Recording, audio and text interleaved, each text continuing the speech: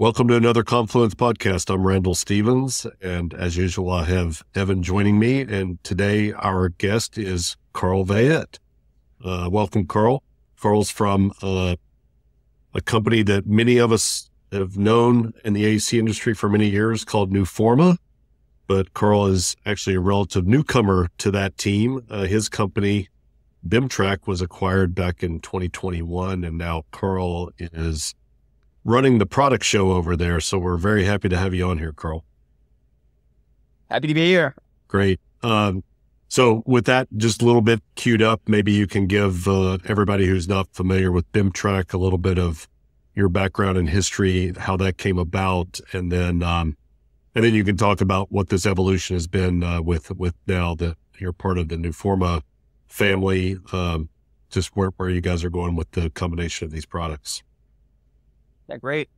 So um, I guess like uh, you know, starting uh, starting from the beginning, um, my background is architecture, so uh, I've I've worked as a designer in the industry for for quite quite some years.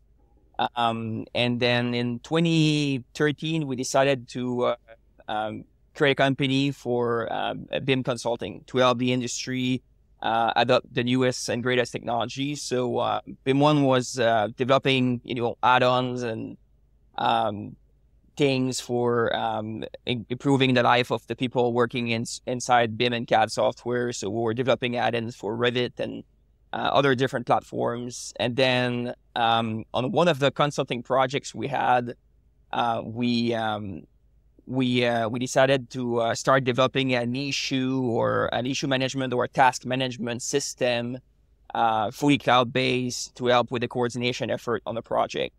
So uh, this uh, later became BIMTrack. Uh, so we released BIMTrack. It was in, I would say, 2016, um, and then uh, instantly like with traction all over the globe. Like people were buying into it and were solving really a, a challenge in terms of uh, uh, workflow and getting issues resolved, not just detected. Right. So tying multiple pieces of, of software together think about uh, Navisworks and, and Revit and and then later we added AutoCAD and Civil 3D and a bunch of other different software. So um, that's kind of like uh, you know how, how BIMTrack uh, was born. And uh, throughout the years between uh, 2016 and all the way to 2021, uh, we had a consistent growth, you know, with the platform and um, uh, a lot of customers around the globe uh, leveraging the platform for for BIM coordination. And uh, at some point, uh, we had a bigger vision in, in, how we can solve problems of the industry, and uh, we decided to join forces with Newforma. So. a little bit of history about Newforma. So Newforma has been on the providing solution for the industry for about 20 years now. Um, so we started back in 2004, uh, Manchester-based um, software um, editor, right? So uh, a lot of the initial founding team came from uh, from the industry. I wanted to do things differently, build the project delivery platform of the future. Uh, and from 2004 um, all the way to uh, today, um, we managed to grow the platform. You from our project center um, which is a, an on-prem solution, to I would say about 17 million projects managed inside the platform today. Um, so that's uh, quite a reach in the industry. Uh, so we were there before many other, uh, you know, software vendors that are now offering, you know, project management, information management uh, solutions. Um, so I would say we we basically pioneered the project information management software category. Um, and then when COVID hit in, I would say 2021, right? Um, so uh, there's like a lot of people that are looking for a cloud first, web first alternative uh, for our project center. Um, so we're getting a lot of pressure from our customer base to come up with a solution, right?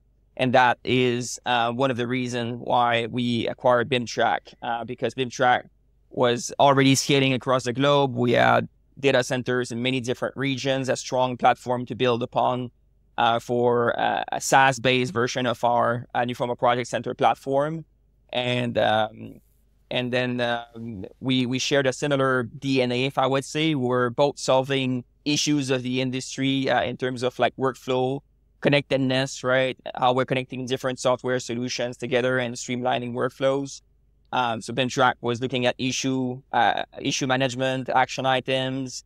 Uh, it had some um, interesting 2D and 3D viewing capabilities also built in a in a browser, right? And and then Newforma Project Center uh, comes with the, the depth of functionality for contract administration, file sharing, email management, and, and, and much more than that, right? So we needed to find a solution to bring those things into a, a cloud platform. And, and that's what we've been uh, working on since uh, 2021. And uh, just last year uh, in June, we've released uh, Newforma Connect, which is a rebrand of our BIM Track platform. And it now includes document control, uh, the 2D, 3D viewing capabilities, uh, BIM coordination, uh, issue tracking, RFI submittals management, uh, email management, file sharing capabilities, connection with various uh, EDMS platforms. So we've got a wide ecosystem of of different connectors now built in, in the solution. So I would say we've probably got the most connected uh, solution in the market. We have over 40 different connectors ranging from AR to VR to out, Outlook emails, you know, and Microsoft SharePoint and um, and and so on, and connecting all the way um, to the uh, CAD and BIM software people use to produce drawings and things like that. So uh, we're, we're trying to be the kind of the master aggregator of project information. We're not trying to replace uh, the people, uh, the, tool, the tools that people use. So I like to think about us more of um, as a as a central view of the information rather than trying to replicate all the functionalities that all the, the software have it in your te- in your tech stack. So um, we do that through the connectors with Procore also, and and many platforms that uh, uh, we have connectivity connectivity built with. So with the uh, with the bringing together of the two solutions, how did you all de- how did you decide when to migrate, um, you know, existing code or existing functionality versus build something new? So like your your new Connect was that whole cloth, uh, taking, taking the BIMTrack code now and just, just rebranding or were you actually rewriting parts of that to work better with the uh, project center functionality? Yeah. So, so that's a really good question. I mean, there's there's many different angles to it. I mean, at the time of the BIMTrack acquisition, we were um, actually developing a cloud solution, right? Um, so our efforts had already started. So um, our Newforma Connect platform uh, currently runs on both Microsoft and AWS. So we've got that multi-cloud backend. Uh, so some of the functionalities run on AWS, some of the functionalities run on on Microsoft. Everything is um, regionalized, right? Is that, um, is that Carl? So is that mainly from a, uh, a uh, just choices that your cut that the customers are making about which environment that they may already be hosting some of their data, uh, AWS versus Microsoft, or it, it's really just like a, a go-to-market kind of play, right? Uh, we wanted to go to market as fast as possible. So instead of rewriting everything to make it on on the same provider, um, we decided to go to market with um, kind of rebuilding a UI on top of the two development effort that were going on. So it's all unified and connect, kind of connect them together, um, but without kind of necessarily changing uh, the, the cloud providers. So now we're leveraging the best services for the best tasks to execute, I would say, if it's on AWS or if it's on Microsoft, right? So hmm. uh, some of the uh, most exciting development we have going on on AI or on Microsoft uh, for the reasons we all know, right? Um, but uh, that's kind of like our our go-to, uh, and uh, of course we take into consideration everything that uh, relates to uh, data governance and um, I would say data residency, right? So uh, uh everything uh, remains within the, the country of choice of our customers, even though we're uh, a multi-cloud um, platform. Hmm. And I think I would say, like in terms of like IP that we've, I guess, reused from you from our project center, quite interesting question because like i mean we've got the outlook add-in um, that runs on the latest technology um, built for new Newforma project center so instead of like starting from scratch we basically fork the code and then we've started from there and then uh, evolved it in a slightly different direction with new Newforma connect uh, because of the nature the speed at which we're moving with the, the new platform um, and all of that. But um, we've uh, reused quite quite some some of the code and decided to break you know the development path so that we can evolve at different speed. And yeah, that's it. So maybe uh, maybe describe a little bit about what does that what does that team look like? You all brought brought together two, I'm assuming dev teams came together and uh, arm wrestled over who whose code was going to win and uh, yeah. what, what does that look like? What did that look like when you were bringing yeah. stuff together? Well, it's kind of an interesting story, right? Because you, you think you would think, uh, you know, the the, the large, um, you know, U.S. company that's been there for 20 years, American company, buying company in a very French part of Canada, right, would take over and then uh, let go all, all the the employees, uh, you know, here, and that's not really what happened. It was, a, I think, a really really good blend and a joint effort in bringing the teams together, and then um, I think the story on what what what we're building um, for the industry is and has and is still you know very exciting for for our team, and that's why they've stick around. And so we grew the team from I think we were about around 60, 60 people into the engineering team and then we grew it we grew it up to 120 in 18 months. Um, so uh, you know, through the acquisition. So that's a pretty big achievement, and having you know the expertise, the cloud expertise we had with BIMTrack mixed with the, the, I would say the the legacy knowledge on on the functionalities we've built we've built new Newforma projects, and it's it's a really uh, uh, good partnership. You know, we've built you know bringing those expertise together, and uh, as a result, you know, the speed at which we came up with the new platform and the speed at which we're we're delivering right now. I mean, there's like dozens of new functionalities rolling out every quarter uh, in the platform. So I think some of our customers have really started to notice the the, the sailing uh, sailing speed have increased quite a bit. Um, so uh, I think it's refreshing for for a lot of our customers to see that.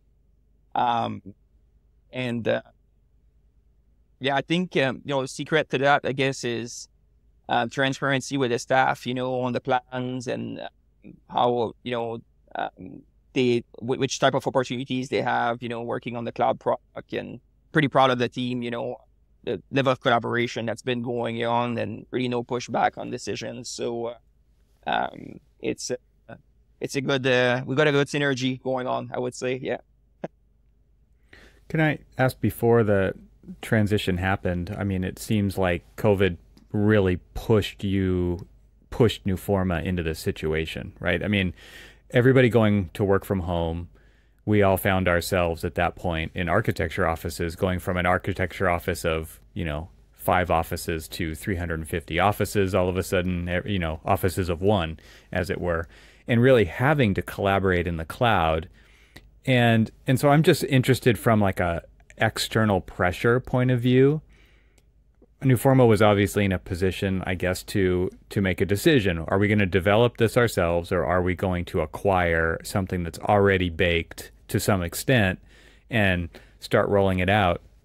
So I, am I'm, I'm just interested in kind of the story from that and, and like how that decision was made because I'm sure that they felt pressure to move quickly. But then also my question really is around speed and development time because I think a lot of people have feature requests and they have ideas that they things they need software to do and they just take time to do right? And they don't magically appear. And and so if you could just kind of speak to it from a a time perspective of you know there's this immense pressure. All of a sudden we've got to get people working in the cloud. We've got to get collaboration happening.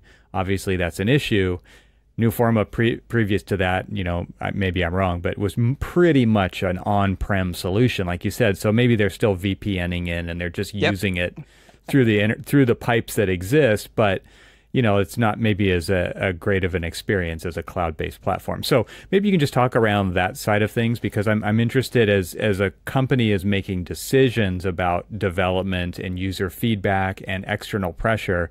Architects are no strangers to external pressure, right? They're they're the ones usually pushing a firm's technology more from the outside than we are from within in in in many cases. So just, just curious to hear what what happened. Yep.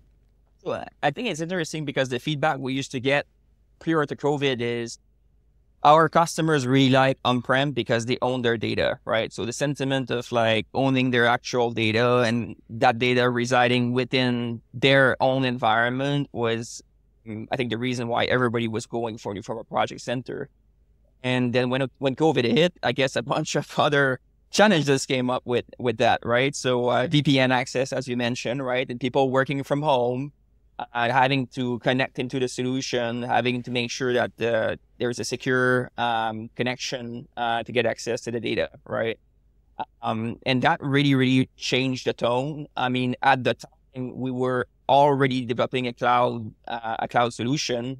It was called Newforma Cloud, and uh, we had a, a, lighthouse program going on. Some customers were already adopters of that cloud-only, SaaS-only solution, right?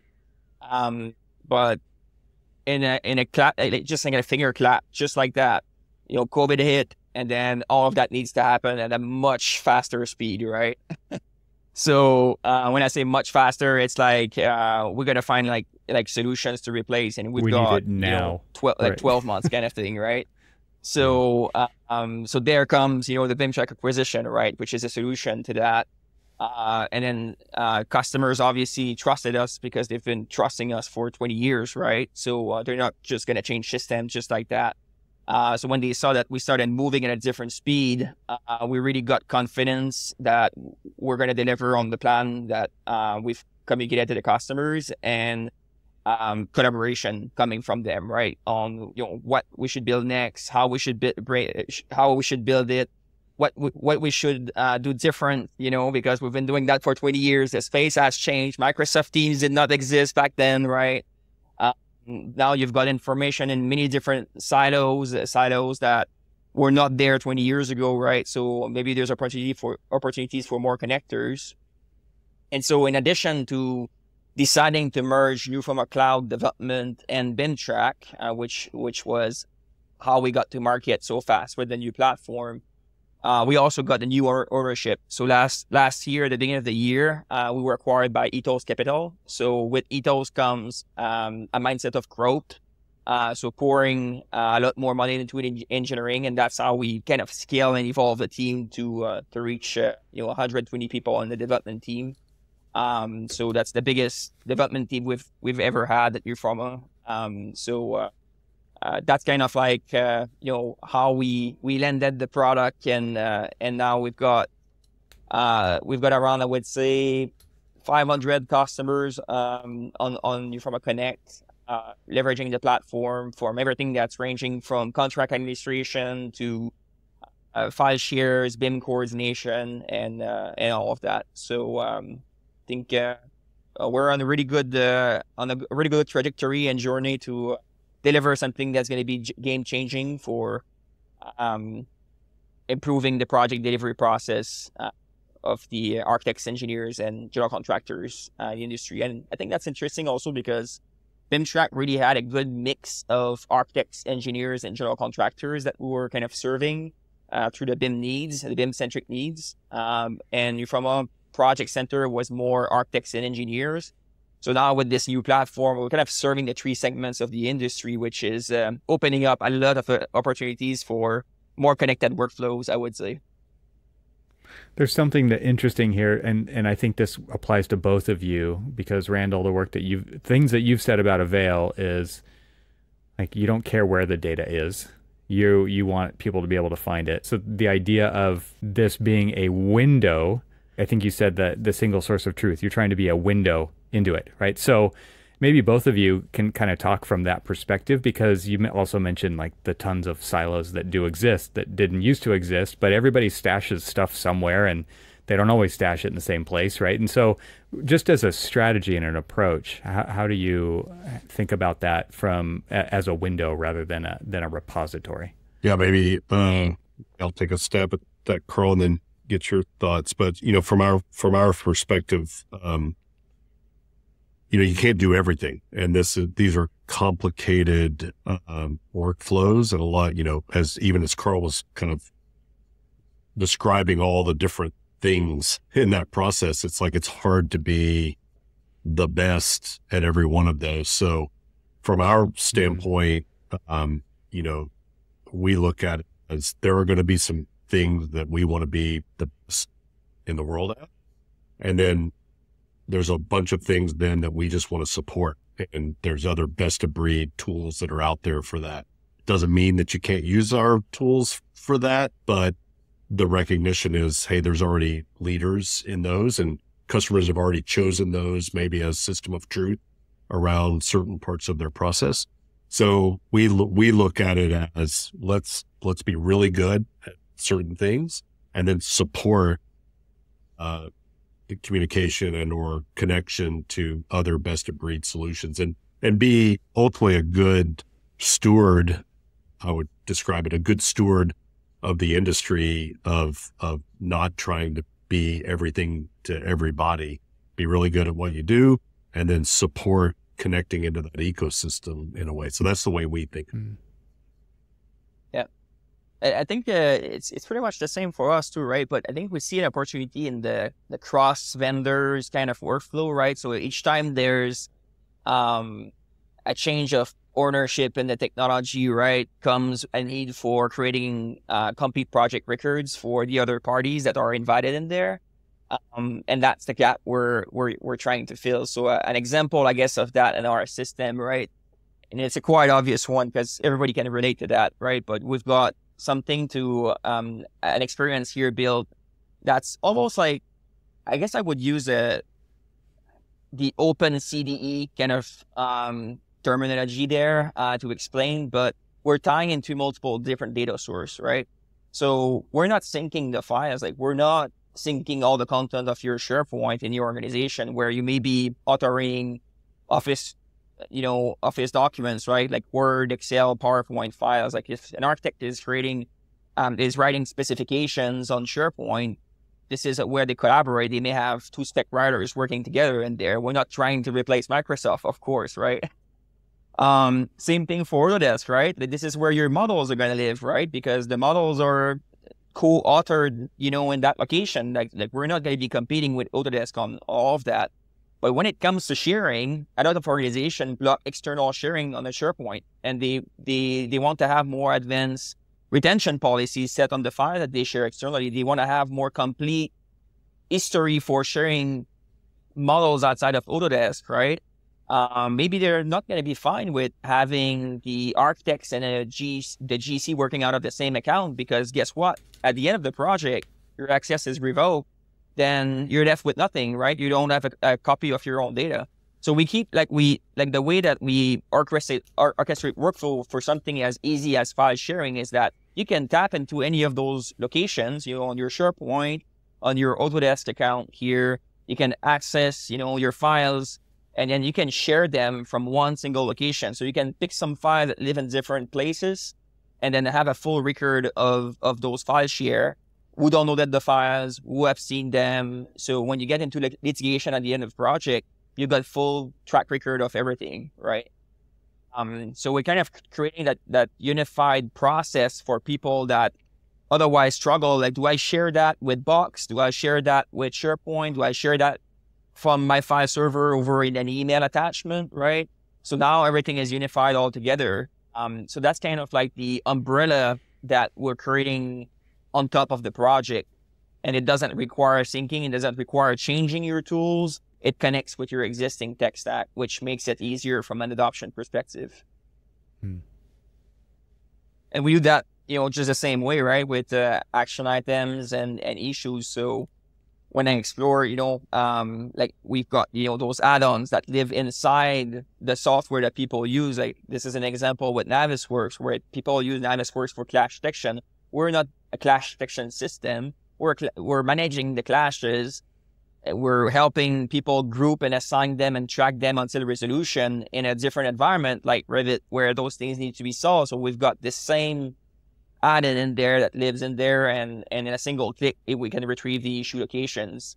Um, so that's kind of the, the, the idea of not replacing, but integrating with the tools, the day-to-day tools that people are using.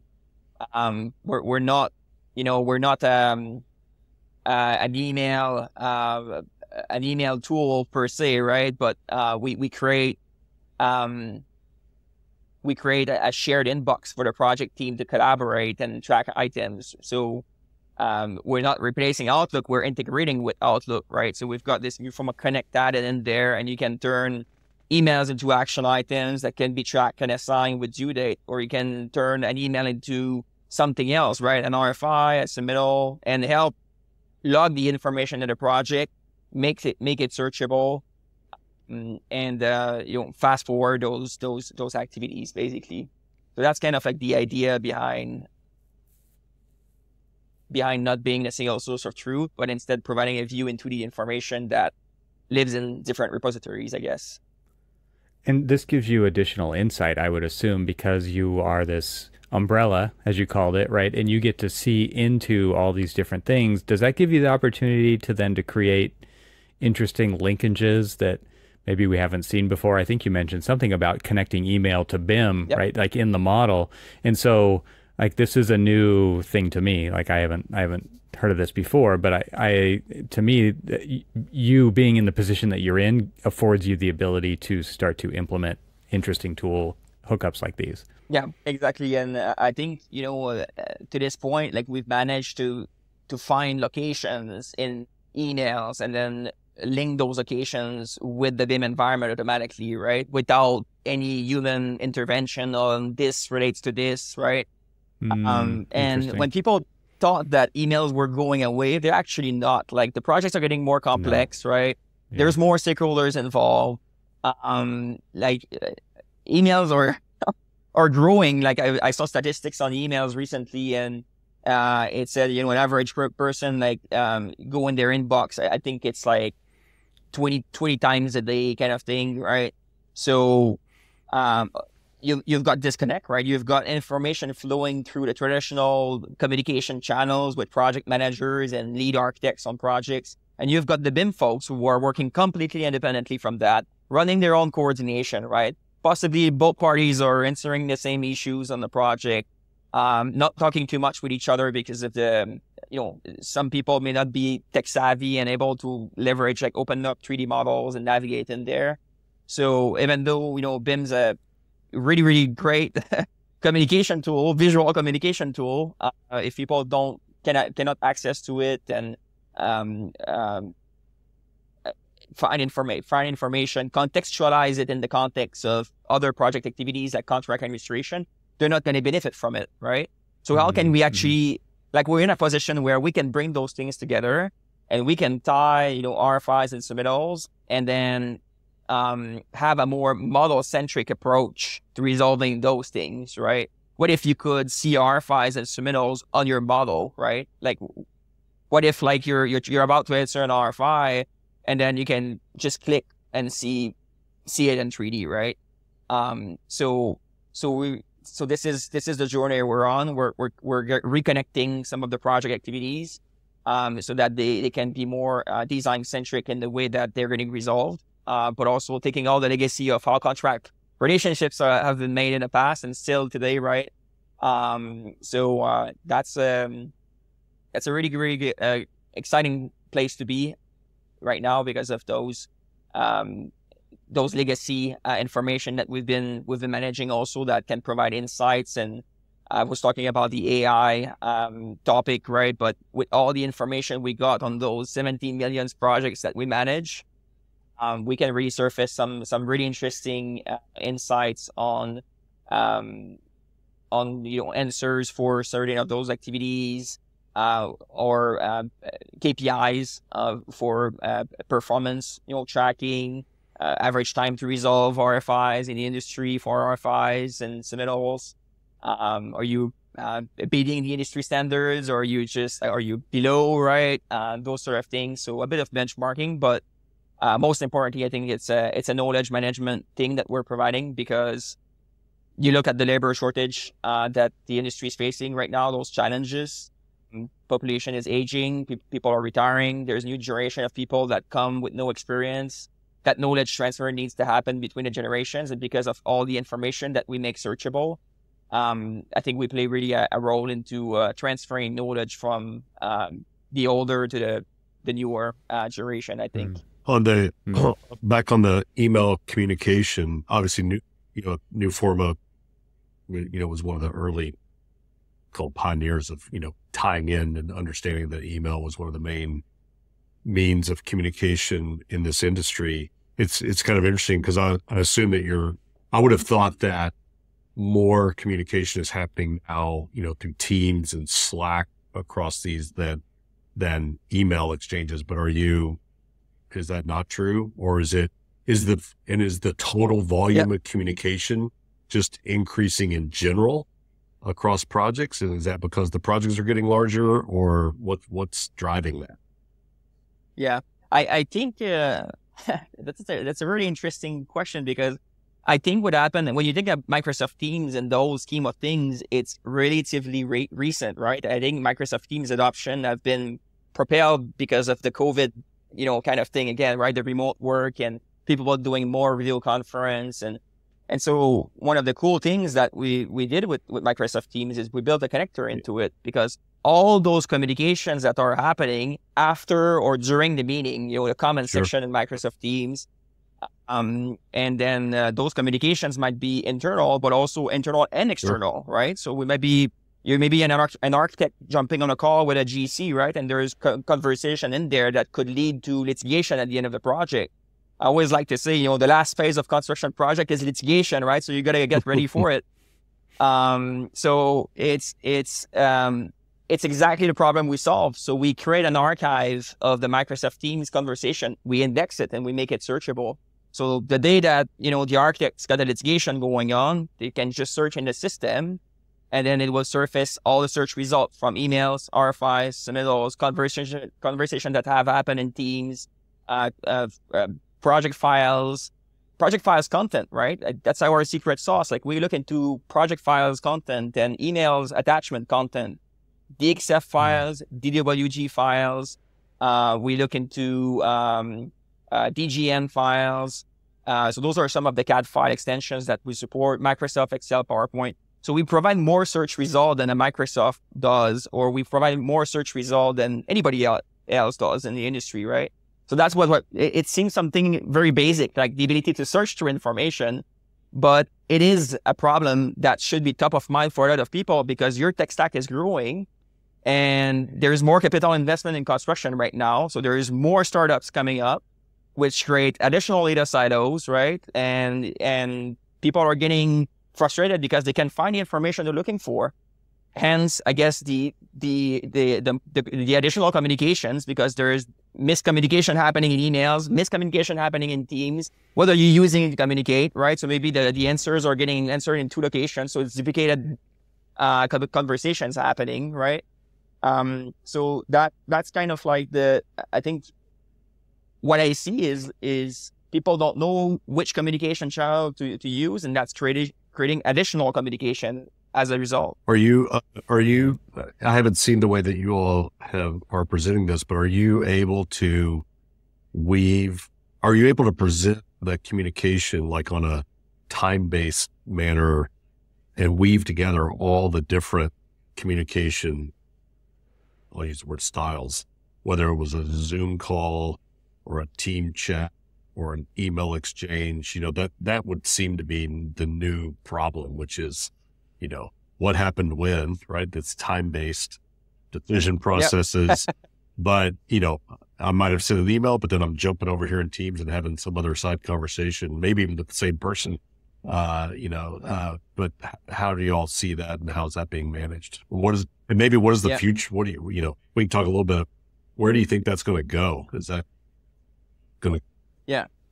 So I think that's a really interesting uh, topic because we're of course capturing everything is timestamp into our system, right? Like we, we create full project records with audit log and um, I think like what we what we've we've envisioned is is more of a timeline, as you mentioned, kind of view where you'd be able to slide into a specific moment of the project and um, recall, you know, a specific version of of uh, a specific view into the project data, that specific like moment of time. Kind of, yeah. Like I don't know if you've um, if you've tried. Uh, there, there's a an interesting website that uh, I think it's called Wayback Machine, oh, yeah. Yeah, you know, the and then you yeah, can just put any website in there and then go back and have a snapshot of what it looked like sure. back then, right? Um, so almost like something like that, but for for the project data, right?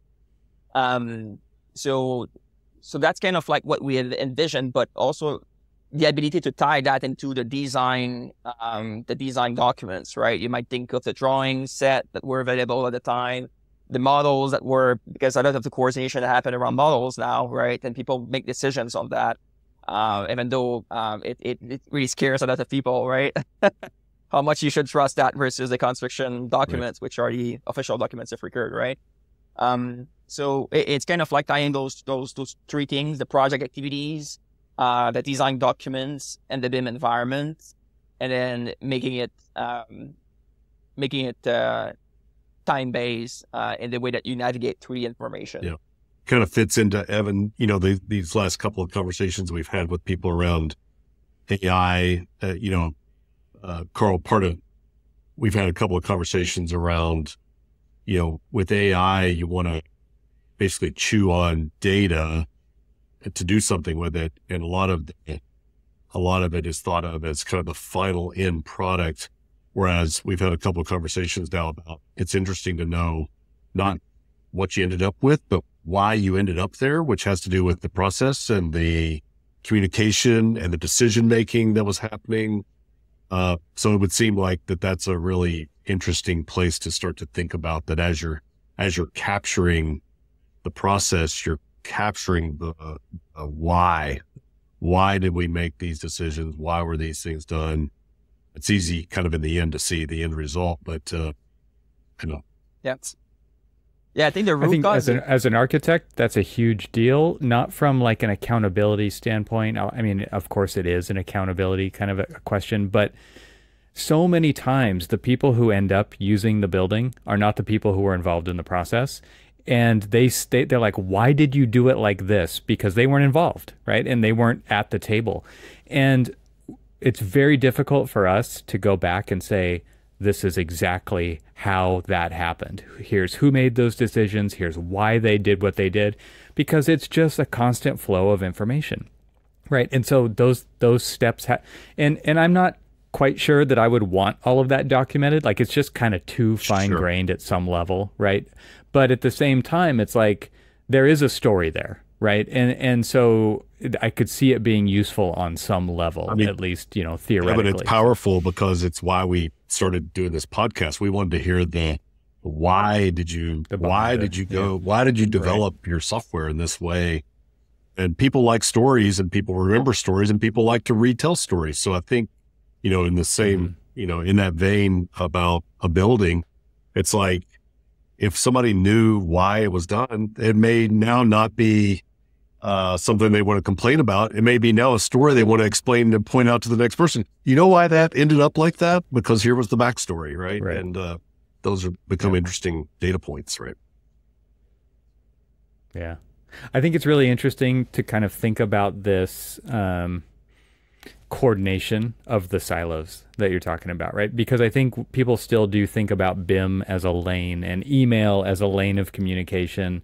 And oftentimes those are different users to your earlier point. You've got, you know, the BIM technicians doing BIM things over here, and then you maybe have project managers and team leaders or, or executives or principals kind of making decisions and they're not talking to each other very well. And so the idea of coordinating these different lanes, I think, is really, really intriguing so that there is insight during the decision making process that that creates the connections between those in a much stronger way. I think that could absolutely be seen as like, yeah, we want that because like you said, multiple people could be making different decisions at the same time about the same thing and then the confusion abounds. Yeah. And I think it's a good segue into one of the functionalities we have in Connect because back back then I think we developed this functionality for exactly that. Like we saw, you know, like we're starting from uh, you know with BIMTrack back in the days from a, a BIM centric view on things, right? Like BIM coordination, everything was 3D, right? And then we realized like, okay, well these guys are working completely disconnected from from the rest of the team and we needed the expertise of both parties to you know to make good coordination on projects like happen right so so one of the things that we've added in there is the ability to see 2d drawings and we said you know why not making those two things compatible, right? And so that's that's what's commonly called now hyper modeling in the industry, right? So it's the ability to see 2D and 3D at the same time. So you can see you know grid lines in the 3D model. You can see discrepancies between drawings and 3D models, with which I guess are, are still happening these days because you know you've got subs that produce drawings and then you've got design intent models and then when you overlap the two of those then you realize things may be off right so uh, but most importantly like creating a visual for for people to align and no matter you know if if you've got the skill set navigating 3d or not everything is compatible right so let's say you know someone want to work in 2d fine i mean they can just go there turn on the 3d model you're in 2D, right? So you're a project manager, fine, you're raising an issue in there. Um, but you don't want that issue to be siloed, right? You want it to be part of, of, of the whole project environment. So when, when, when we're creating issues like that, they're also compatible in 3D, right? So you can say, okay, I'm going to mark up this thing here. Uh, there's an issue with the stairs there, right? I may assign it to someone. And then someone that's working in 3D, right? So I'm just going to switch to 3D. Um, they're going to be going here, and then the, they're going to be working out of the 3D environment only. And then when you look at the issue stairs, um, they're going to be able to see those issues in a 3D environment, right? So you've got this stair issue over here, um, and and you can turn on you know 3D or go back to to to do 2D at, at any any point in time. So I think it was it was quite a, a challenge for for us to make that work because um, those those sheets, you know, are kind of published from the BIM environment and inserted like a house of card inside the 3D environment where where it should fit at the right scale at the right location. So uh, you have some you know drawings like uh, elevations, for instance, where you may have two or three different views so that sheet coexists in multiple locations of the 3D model, right? So that was a quite a challenge to build the thing, and um, and uh, we kind of made it work, right? So it really bridged the gap between 2D and 3D, which was the first step. And now we're evolving that into uh, you know project activities and being able to see those project activities in, in, in any of those uh, different environment, 2D or 3D. I'm curious how you got to this solution. Was this something that users were asking for? Is this something that you thought internally could plug a hole that exists in the system? A combination of the two, something else?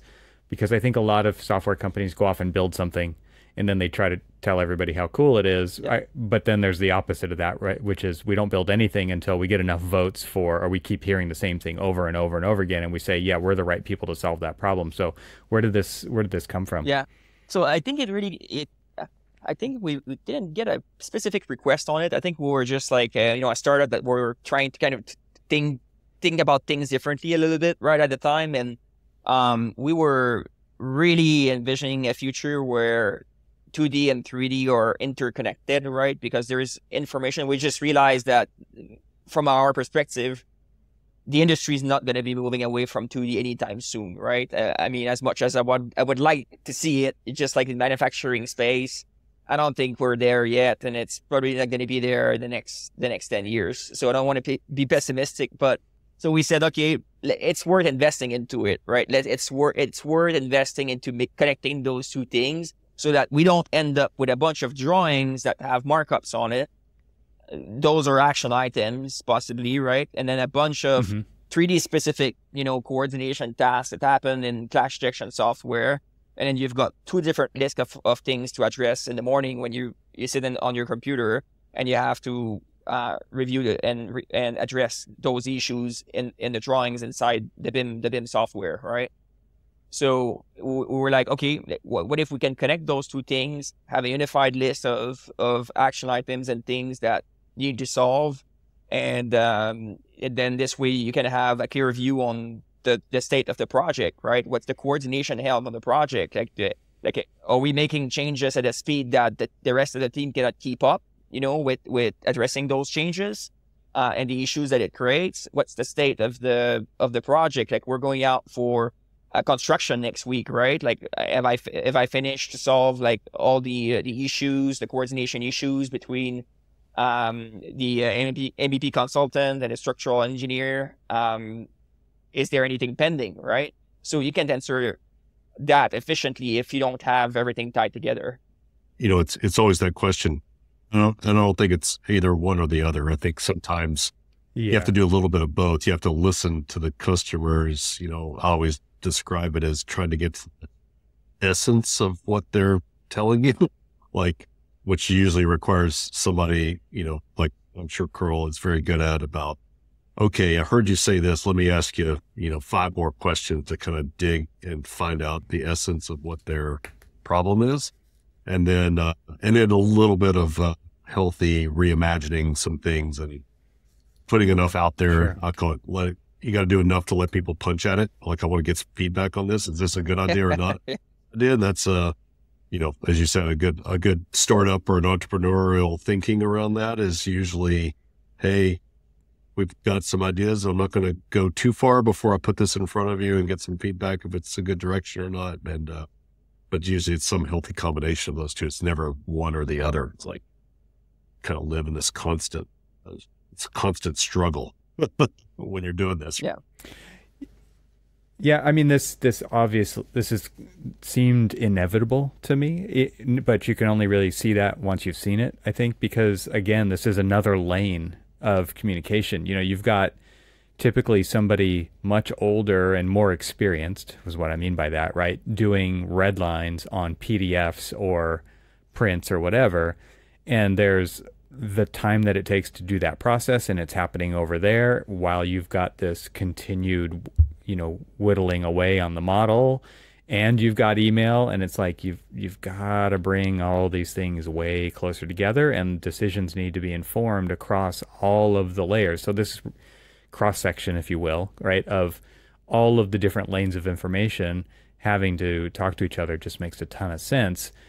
I'm curious from like a user's perspective um, i'm sure you get good feedback from this but i'm also curious about uh, implement implementing new tech like this and how hard adoption is or isn't for for this kind of a tool. Because adoption you know my experience adoption's really hard in an architectural office and i'm sure it's a little different in an engineering office and it's a little different in a contracting office. So talk about adoption when it comes to new tools like these and, and what you're experiencing. Yeah that's a, a really good topic actually because we would be tempted to think that you know architects, engineers, and, and GCs you know implement technologies pretty much the same way, but the the way that the procurement process work, uh, you know, with GCs, it's project based, right? And they adopt technology on a project basis. So, um, the uh, we've seen some GCs. It's it's quite interesting because, um, the they they've become really really good. It's it's almost like um, training, right? Like I mean, uh, like, like like going to the gym, right, and exercise. Like the more you the more you train, you know, the the, the easier it is uh, to get into it. So I, I think um, adopting t- new technologies on a project basis for GCs is something that we see quite a, quite a lot, right? They test out new technologies all the time, um, and then for architects and engineers, it's it's really ingrained in their in, in their process. Like I mean, the it's it's hard to change tools when you've got something in like a well-oiled machine, if I can say, right? And it's working well. Like, why would you change and introduce risk and then you know potentially affect your margins with that down the road? So the way of thinking, like you know, architects and engineers they want to have something that's predictable right they, they want to have something that remove the the risk that they're taking on projects GCs are looking at a driving efficiency, right? So we're not looking at the right thing. Um, and I guess we we tried when we built Connect, we tried to keep in mind Newforma project center and the workflows and the wayfinding and the experience we had in there. But we were also getting a lot of feedback on, you know, the the user experience, uh, the UI is getting a little old, right? So we're trying we're trying to we're trying to reuse the same terminology a little bit, bring it over, revamp it, make it easier from a user experience perspective. And the feedback we're getting is awesome. Like the user experience, it's really, a, I think it's one of the main reason why we're successful with the adoption of Connect currently, right? Um, a lot of vendors, like they, they put more functionality on, they, they put more effort on the functionality than the experience itself. I think we're putting much more effort on the experience than the actual functionality in, in the current in the now time frame.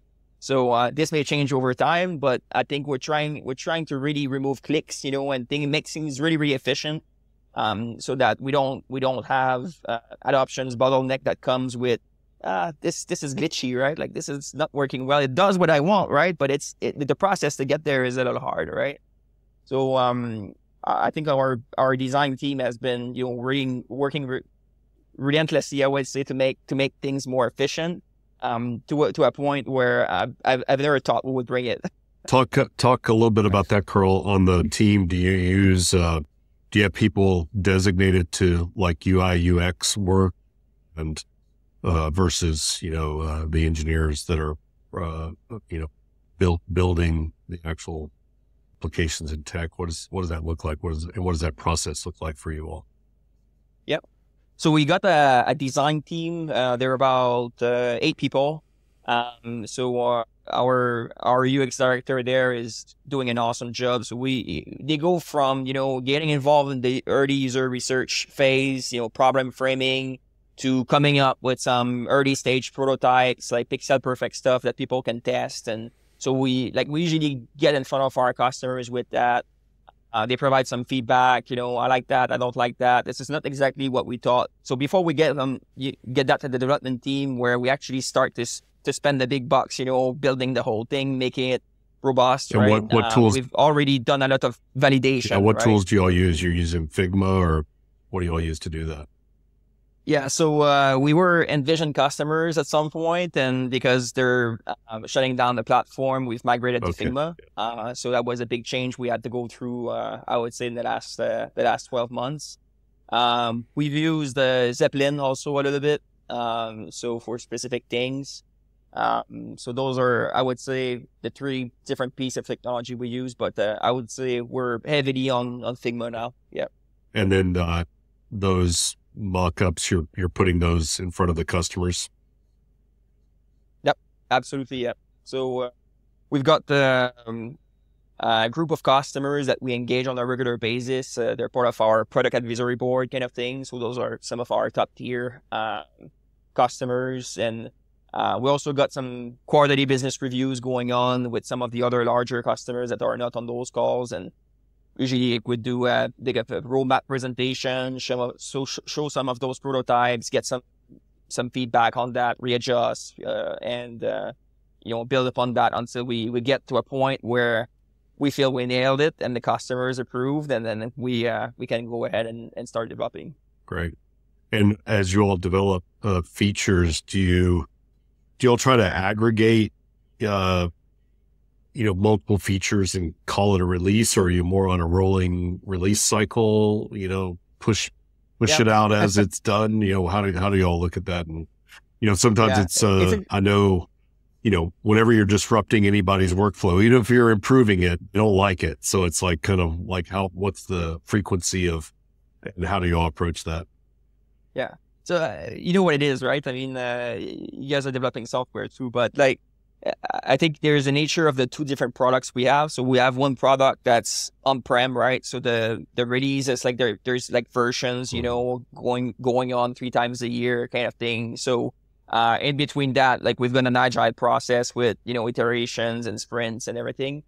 Um, but um, on the Connect side of things, it's continuous delivery. So there's like new functionalities rolling out in the platform. We announce it through in-app, you know, communications and everything. So we're we're moving much faster because of that and Connect. And the learning, the learning curve for us is is is uh, the cycle is much closer, right? Because we're raising often, so we get immediate feedback. So we don't have time to get in the wrong direction and have to come back, right? It's it's almost instant. We're getting feedback as we release, and then you know three weeks after we may be shifting directions, right? So we can we cannot get lost really with that uh, too much. So I, I like like the way it works with with Connect from that perspective, and uh, it's uh it, it's it's always been um like that. I would say with Connect, we used to have more like three weeks kind of sprint cycles. Uh, would release every three weeks and uh, communicate to the customers and you know what's coming up. But now we're really turning into uh, a continuous delivery kind of approach, and uh, it's been uh, it's been great. on so the on that front, uh, do you like with the Connect product? Do you end up? Are there any features where you, uh, you know, if if there's a big enough change, do you let people kind of stay in the old mode and then offer, hey, go take a look at this, but you don't, you know, if it's going to disrupt your day, come back to it yeah. next week, or do you all just kind of try to try to push things, push. try to push? It's like, yeah, I don't think there's a single answer for that, but I think like we like usually we we, we try to give a heads up to customers beforehand when there's a big enough change. So like one of the things that's rolling up uh, in next week, like we've got uh, a new connectivity between our uh, viewer technology and the project files um, functionality. So we're kind of connecting the, the two, so the backend is the same. So it, it's quite a change, and it's it's it's kind of like okay, we, for that change to happen, like we, we cannot disregard, you know, the, the the customers that are using it separately right now. So we're just gonna keep it as is, and then for the new projects, they're gonna be you know jumping Start on the new mode, right? Uh, so that's an example of how we we manage communication. So an email went out to announce that to the customers, you know, a few weeks before, and get them in the mindset of okay, the new project's going to be working this way. Um, or like our viewer technology, we've rebuilt the whole technology ground up uh, to to be kind of best in class for for if you were speed. The legacy viewer is still there, so you can switch back and forth. You've probably seen it at the top of the screen, right? Switch back to legacy right. viewer. So what we're measuring there, we're, we're measuring usage, right? So we've got 80% of the customer now on the, the next generation viewer. So like we know that this can be the default experience. For the 20% remaining, we're still giving access to the old one. When we get to 95%, mm-hmm. we're going to say, you know, right. okay, you know, right. we'll sunset it and uh, maybe the, the last 5% of the users are using a few functionalities in there that are not worth reinventing or, you know, bringing over in the, the next gen viewer. So, um, so that's kind of like the edge cases, right? Sure. So some of those larger items, but most of the time we roll, roll out stuff in the platform. We've got some guided tours. Um, there's a, you know, release notes that people can subscribe to and, and we've got our chat in app that people can ask questions, you know, if, if need be. So, uh, usually that's, uh, that's how we roll out, you know, uh, the most do you, do you have a, an example that comes to mind of, uh, a feature that you took away. Uh, you know, it's like one of the things that I think uh, people that that don't develop software, you know, don't necessarily understand is that like, man, once you've introduced it and one person's using it, it's hard. It's it's hard to ever take yeah. something away. But does anything ever come to anything that you you've worked on the last couple of years come to mind that you you took away and and you had to fight fight to get it get it taken away? Uh, that's a good question. Yeah, I think yeah, I think we do remove stuff on a on a regular basis. Actually, like uh, we look at the usage, right, and we've got a you know this tracking platform that we use for you know understanding you know, what people are using and what they're, what they're not. And uh, when usually like we get lower than two three percent usage, like it's a it's a no brainer. Each time like we would refactor a page, change technology there. Uh, I guess we would look at those usage and then rebuild it without those those smaller uh, functionalities. Sure.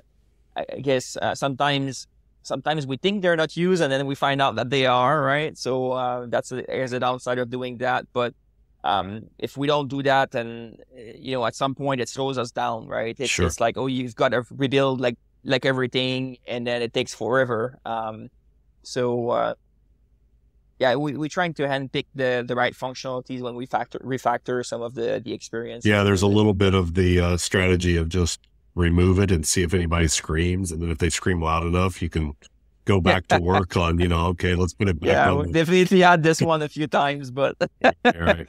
No, it's a it's a real challenge, right? Uh, because every line of code that you end up writing, and if you add something in there, and that kind of goes back to the earlier part of the conversation about how do you decide to make a feature. Well, you don't just make it up because if you just make it up and put it in there, somebody's probably going to use it, but that it may not have, you know, there was the 5%, not the 95%. And uh, those become real challenges yeah. as you're doing this kind of work. It's always a trade off. Like it's how much time you put on improving the existing versus building something new. And at some point, the, the the the the opportunity value there is is getting much lower, right? So you've got some more urgent stuff that people want you to yep. work on. So sometimes you're kind of forced a little bit to uh, you know uh, Uh, say, okay, we we we got there, we got enough, then you know let's change directions, right? And I think you you talk about you know how we're managing stuff with releases. I think the way we drive the roadmap is is product. It, it's um it's a thematic driven roadmap, right? So uh, I'm not sure if you've heard about that, but it's it's like we don't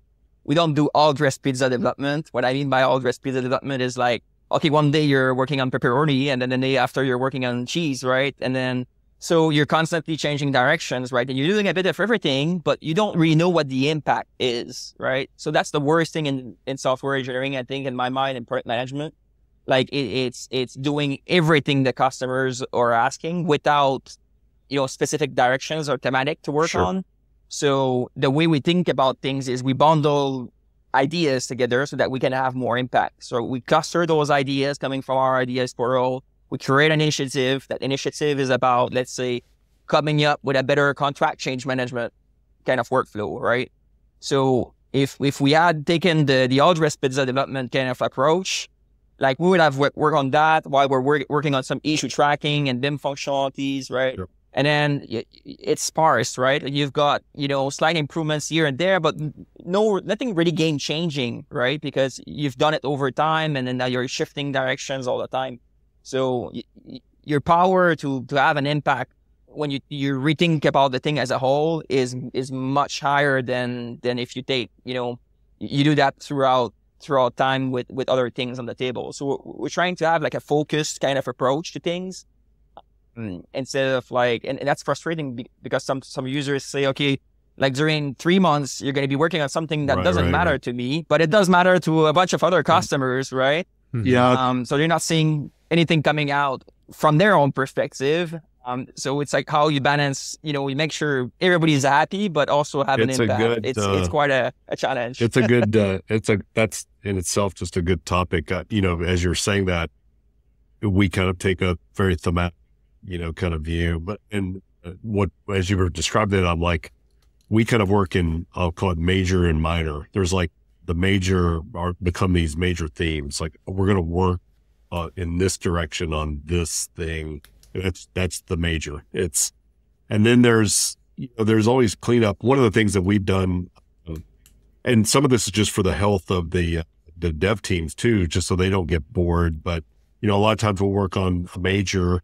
You got heads down, and you're going to kind of get that. We call it preview release. We'll get something out where it's now able to be for customers to start kicking the tires and on the dev side, that's kind of like a time to take a breath. And then we go work on like little minors. Like, let's go, you know, we had a bunch of people complaining about this or that. Let's go.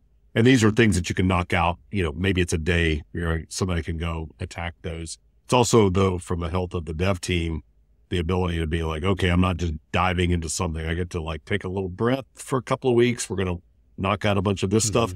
And that's also a time period then that you're waiting for the feedback to come from what you've pushed out on the major side. And so we've, we've kind of gotten into a cycle of two or three times a year trying to do that. It lets you, oh, we've knocked out those because, you know, from a, if, if you looked at your request list or, or what you really want to work on, it's all majors. It's like, these are the big things yep. and all the little things will just get pushed, push, push, push. So you've got to find some room in the middle of those things to kind of, uh, go back and do that little cleanup kinds of work. And uh, anyway, yeah. that's the way we've approached it. Cool. I can't help but but think of Google in your your example of you know two or three people still using a product, and maybe then you'll you'll shut it down. Oh no. Google's like it's out of here. I'll just just millions of people still using something. Kill it. Kill it. God. anyway, well, this was fun, uh, Carl. Any other any anything else that you can think of that you want to kind of throw out there that you all are doing? Um, what what you know we haven't talked much. You know, everybody's talking AI now. What's the uh, yep? Give us your give us your five minute take on on how you all are thinking about what's going on on AI. How you all think are either integrating things currently or foresee that impacting what you're doing. Yeah. So I think it's interesting because, you know, I, I, look at some people who are doing some very innovative and very in, intriguing and, and uh, impressive things with AI. I think about uh, the guys at Veras. I think they were on your uh, on one of your podcasts recently. I like those guys, right? I mean, uh, I've I've tried the technology on my own house project and, you know, just photorealistic renders. They're good Canadians too, it's aren't they? Aren't they, uh, I think Colorado and Yeah. Colorado one. Okay. Yeah. so I, think you know it's it's crazy because I remember when I was in architecture, I would stay up all night looking at Photoshop and Autodesk Viz Render, uh, which I was using back then for rendering, and then look at every single line of render, and then uh, figure like, uh, uh, sh- shit, like I've got this this material there, it's wrong, I have to start over again, like, and I've got you know that to deliver like tomorrow, right? It, and now it takes you know in a snap of fingers like that, you get photorealistic renders with a with a prompt. Uh, it's it's uh it's a very impressive, right? I think the way that we think about AI for what we do, because we're a project information management uh, solution provider, right? We think about how we're going to be helping people better manage information, and that's going to be an increasing. It's it is already a challenge, and it's going to increase exponentially because the amount of data is increasing, right? And then the repos are increasing, and then everything is all over the place. So I don't know how people that have data governance job like CIOs, but their job is going to get a lot harder. So uh, a lot of, of people are actually looking to consolidate some piece of technology. Some people they they just lost control. So we're thinking about how we're going to be helping a, them with AI. So AI for us is more a into a better user experience for searching through information, right? So we're talking about the uh, the ability to look, backward, maybe a timeline kind of view, right, and then the information, and um, that's that's I guess one way of of thinking about it. But you know, when you're trying to find the root cause of something, let's say a bridge collapsed at the end of a, of a project, right? So that may be litigation, but also you want to find like um, you know, everything that relates to that that that issue that we we face and that caused that that bridge collapse, right? So um, that's one thing that can only be achieve if you're able to relate information to one another, right? So you, you're able to relate, okay, maybe that, that RFI here, the answer came from that email and then that came from here and there.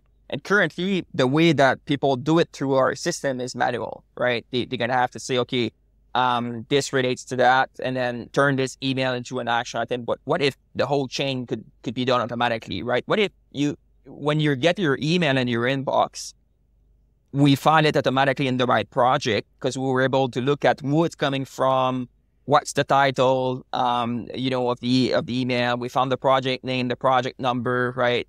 And then AI file it into the right project, and it files it into the right project activity, right? It files it into the uh, series of action items. It files it as an RFI, keeps the relationship between the two, and then that RFI became a change order. And then as a result, you know, something happened at the end of the project. There, there's litigation, right? And then you're able to trace back you know all of, of the information all the way to the beginning right? So so that's an area where we've been building ai is ma- maintaining and creating those relationships between things bringing the model at the center of all the discussion so that we can see what we're talking about. Um so that's um that's that's one thing. And then the So other from is that, Carl, just to dig in a little bit on that, do, do you all view, do you, uh, do you see the, the 3D model primarily as a navigation tool in this world of information? I mean, we think about that the model is what's going to produce the drawings, but a lot of it is also, if you're pulling that up, even in the way you were showing that you're connecting other pieces of information into that, is it a, is it, uh, is the 3D model seen as a navigation tool in your all's world? Yeah, I, I, th- I think it is. Like the, the way I like to think about it is that I want to make the data the center of everything, right? So when you think about a, a BIM model, it's it's a file, right? And in a lot of, uh, I'm not gonna mention any any vendor names here, but there are some vendors that make everything file based, right? We're trying to free um, the data from the file itself and make it universally accessible and searchable. So you could navigate through the data and then, you know, overlap a drawing, overlap a model under like, like almost like layers basically of information that you can overlap. Um, so, so the way that, that we're doing it right now is, is we're extracting the information from the 3D model, right? And that 3D model was made available at a certain point in time. So it has, it, it has a timestamp. So now we're able to create an history of the design evolution, right? So we can consume that information with the model and then tie it back with specific project activities that have the same time range. Um, so that relationship that we can create. So when you're looking at an, an email, for instance, right, there's going to be loca- locations mentioned in there. There's going to be uh, um, assets, right? So let's say you're talking about mechanical room, uh, um, 403, right? And then you'll be able you'll be able to click on that and then jump to the model, and that relationship is made by AI. Or if if you're you feel comfortable navigating in 3D and you want to see your RFIs and submittals and emails in the 3D model, then you're going to be able to display those also, right? So you can you can start with the, the model in mind, or you can get to the model from the activity that you're interacting with because you want to see, you want to sure. understand what the design looks like. So people are going to have the choice to do both, basically. Yeah, it's like you want to. Sometimes you want to think about this as a chronology of of things, time based. Other times it's spatially based around the model, and or you want to kind of jump jump back and forth between those two efficiently. So, yeah. Uh, yeah. It's an interesting thing to think think about. Complex, right? yep. What makes this fun? yep. and it's shape shape shifting too, right? You think about the model and the locations of the information. Like when you're early stage in the project, you've got maybe uh, you know uh, uh, let's say a, a, corridor is right here, and then three months after design changing, it's right there. So how do you how do you maintain the relationship between lo- locations and, other information, right? So that's, I guess, a topic that um, was quite a, a, explored at the Construction Progress Coalition with uh, Nathan Wood a few year, a few years ago, right? And uh, you know, the contractor like they don't they don't have the the walls built, right? So they're referring to locations, you know, for from you know the edge of the slab or you know possibly a grid line. Um, and then the architect in the office, like they've got the you know the model with the full layout of the floor, you know, display on screen, and now they're referring with locations with room names, right? So there's miscommunication happening between the parties, right? So um, I think that's an interesting you know challenge in how people communicate with locations. Um, sometimes it, you know maybe buildings, sometimes maybe levels, sometimes maybe grid lines, sometimes maybe rooms, and depending on if you're on the field or in the office, like you you know your preferred way of communicating things are, are, are different and that's causing i think uh, issues on the project sometimes yeah the uh, i was just thinking about you know you're you were talking a few minutes ago about the uh, just that the amount of data uh, you know just keeps increasing and we were talking about that you know uh, here just recently and it's uh, you know i think it it's just just so that just to remind everybody it's like if you're the numbers that I've heard, you know, it's like doubling. You're doubling the basically volume, and we uh, we do a bunch of work with a company called Egnyte that's on the file system side, and they, you know, they can tell you here's how many files are being generated and how much data is being generated. And so a doubling, right, in ten years is means you got more than 500 times the amount of data if it's doubling every year. It's like so we forget it's like this oh, wow. exponential exponential amount of info and data. Um, you know, I'll want to think about this some more. But you know, I think that uh, just that idea that you've got all these different forms of communication that are coming together. The, the, the other thing, this maybe could be for another uh, another uh, conversation, but it's like it kind of seems antithetical because it seems like the the younger generation doesn't want to talk so much. So maybe there's less verbal communication and more. Maybe there is more, uh, you know, chat, uh, kind of chatting uh, back and forth because I'm a lot of times I'm like, just pick up the damn phone. Like just call and talk to somebody. You will knock this out very quickly instead of all this asynchronous, you know, kind of communication that goes back and forth. But I don't know what what you all are seeing from the from that kind of data side. Is it more asynchronous communication or or are there voice and audio conversations that are being recorded as part of the record as well? Yeah, I I think I see a lot of chatting, and uh, that's one of the reasons you know why we we've uh, we've been building those Microsoft Teams kind of integration. I think the newer generations are using more this communication approach. There's a, a case for um, there's a strong case for it because we've got um, actually it all started with one of our customers' lawyer recommended um, Newforma to another uh, potential customer um, and the reason for that is because on one of the projects, it's a Canadian customer, and then they had a litigation going on, and then someone did a thumbs up on a chat in, in, in Microsoft Teams. And then that thumbs up was later recognized in court as a yes. yes. And then they were able to save $100,000 on just that. Mm. So, you know, most of the, the, firms, they don't think about it because it's a change in how people sure. communicate, but it's creating, it's creating a threat to their, to their business because now you don't have a full project record because it's not project based. It, there's conversation between multiple people. There's chats, you know, all mixed together you can find the information Different in channels. there. Yeah. So the lack right. of governance around that is causing issues for uh, risk for the customers. Or or voice, you know, a lot of times Zoom calls are being recorded, and then trans- there's transcription, right? That's happening of all that. Uh, is that also happening with voice calls from customer base that you see? Are there?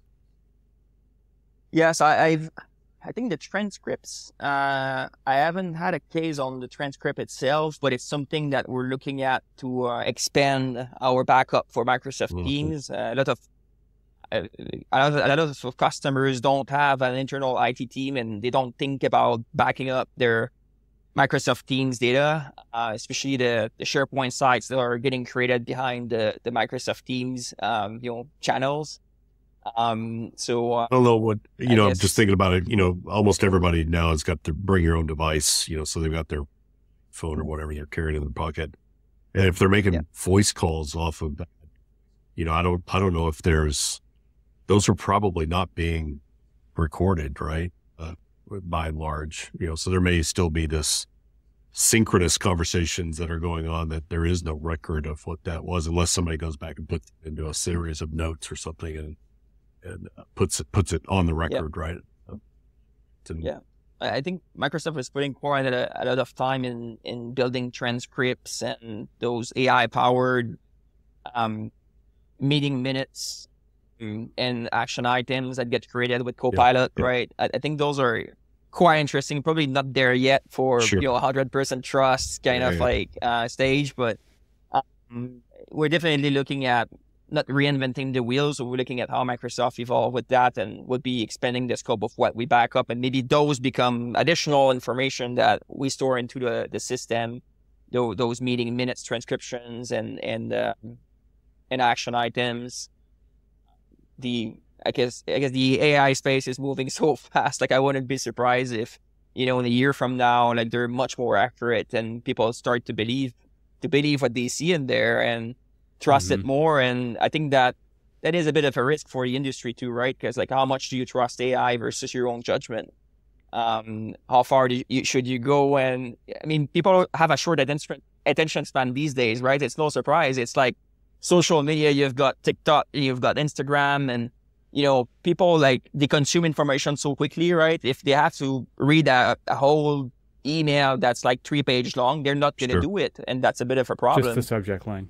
Yeah, yeah I think, uh, uh, you know, along that line, and one, I think it is moving pretty quickly, and I think people will, I don't think it'll take that long before they begin trusting it, uh, just because they, they will want to trust it so they can move on with whatever else it is that they're wanting to do instead of dwelling on it. So, but, but I think that's in the year, two year, three year uh, time frame as this stuff progresses. Uh, you know, I think back to, you know, my first touch with Uber you know, 20, probably it was 20, can go back. It was, I was actually, I can remember when I, the first one I took, cause I was, it was whenever Build conference was in DC. So it might have been 2014 or 2015.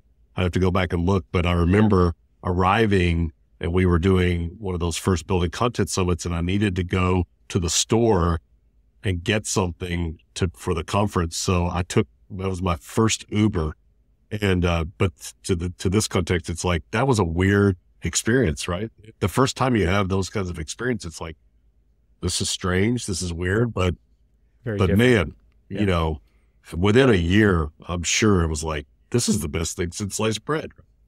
Uh, so, yeah. so I think we're, I think, you know, that those experiences and the positive part of those experiences, you know, moved, moved everybody along very quickly. I mean, I can remember my my uh, in-laws, they were like, what? You know, you would get in somebody else's car. It's like, so I always think about these things as risk. It's what you're really asking somebody to do is how risky is it for me to trust that? So as you go on that risk continuum, you're going to say, well, trust but verify. I need two or three more eyes on this. I'm not going to completely trust that. But things that are not that risky down the other end of the spectrum, you're just going to say, all right, I'll move on to the next thing. It'll either, either it doesn't really matter or it'll get caught right at some point in the process. So I think, um, I think that stuff's going to move along pretty quick. Yep. Hmm. Well, great. Well, uh, I took I took what was supposed to be done 20 minutes ago and turned it into into another part of the conversation. But this is fun. You know, this is fun. I'm I'm actually at the uh, I'm at the I'm about halfway through an eight and a half eight and a half hour podcast from Lex Fridman talking to the Neuralink team. It's like a it's not one giant interview. It's like a series of interviews, but man, it is so interesting. It's like I just sat last night and watched like two more hours of it. It's just these guys are uber, uber smart and it's fun, you know, to get people like yourself, Carl, on here talking about these things and a little, little glimpse of behind the scenes and, and just a free flowing conversation about these things. So, uh, appreciate you being on.